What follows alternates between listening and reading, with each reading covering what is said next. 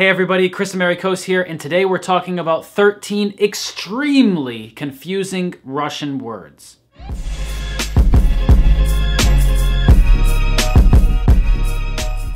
Now, anybody who has studied another language before knows that sometimes there are words that sound the same. If the word that sounds the same has the same meaning, it's called a cognate. And if it has a different meaning, it's called a false cognate. Well, our list of 13 confusing Russian words today is full of false cognates. So make sure you know what these words really mean to avoid a lot of confusion and misunderstanding. Are you ready? Let's get into it. The first extremely confusing Russian word for English speakers is smelly. And I know, probably immediately as soon as you hear this word, you think it means smelly, like something that smells really bad. But you would be mistaken. If you see a soldier, you can say on smely. And this means he is brave because smely means brave. Of course, he might be smelly too. The second extremely confusing Russian word is fakt.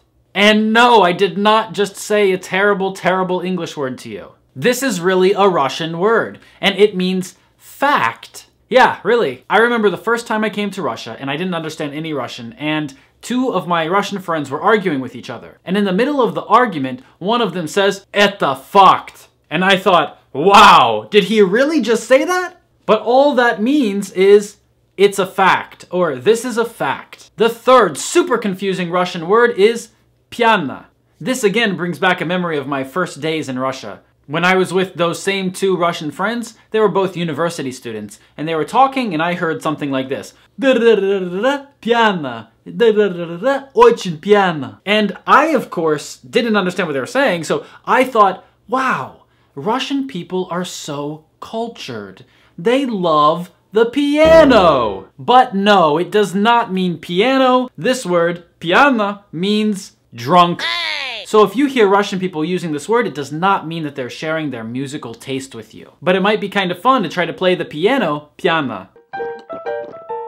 Confusing word number four, normalna. And if we take off the na at the end, then it sounds a lot like the English word normal. So that Russian word again was normalna. But this word does not mean normal. And this is a mistake that a lot of Russian speakers make when they speak English. In Russian, it's completely okay if someone asks you, hey, how are you doing? And you say, "нормально," which means okay, not normal or usual. And if you ask your Russian friend, hey, how's it going? And your Russian friend says, normal, well, now you understand why. In English, normal means usual. In Russian, "нормально" means okay. The fifth confusing Russian word is banda. And you probably think that this one means band, like a music group. But actually, you would be very wrong. You probably don't want to accept anyone's invitation to be part of their banda. Because a banda is a gang. Like a criminal gang. So when you go to a bar in Russia and you meet two guys named Vasya and Ivan, and they tell you, Мы в одной банде, this does not mean that they play together in a music group.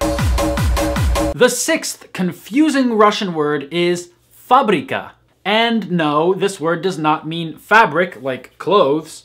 This word means factory, like a place that produces things. So when your friend tells you, я на фабрике, this means he's at the factory. It doesn't mean that he is on your clothes or fabric. The seventh confusing Russian word is insult. And probably you're thinking, well, that one's easy, it's insult like to insult someone or to say something rude to someone. But again, you would be mistaken, because the Russian word insult means stroke. Like when part of your body becomes paralyzed?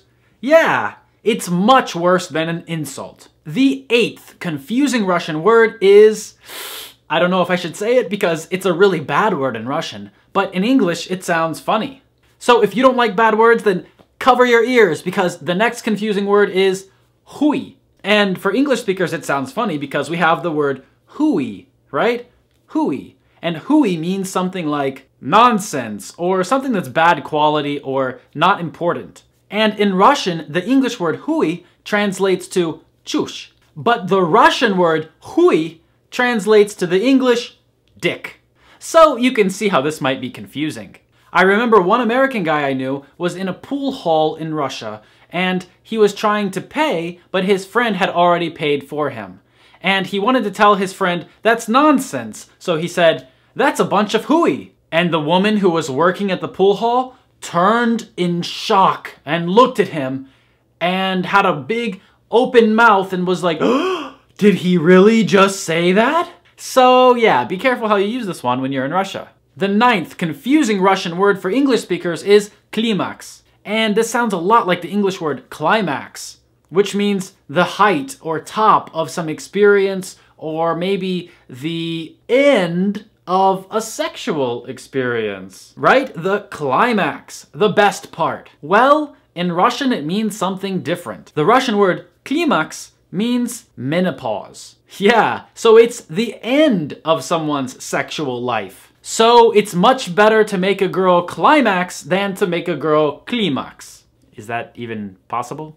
The tenth confusing Russian word is kabinet, which sounds a lot like cabinet. But this does not describe a place where you put dishes or clothes or anything like that. It's not a cabinet.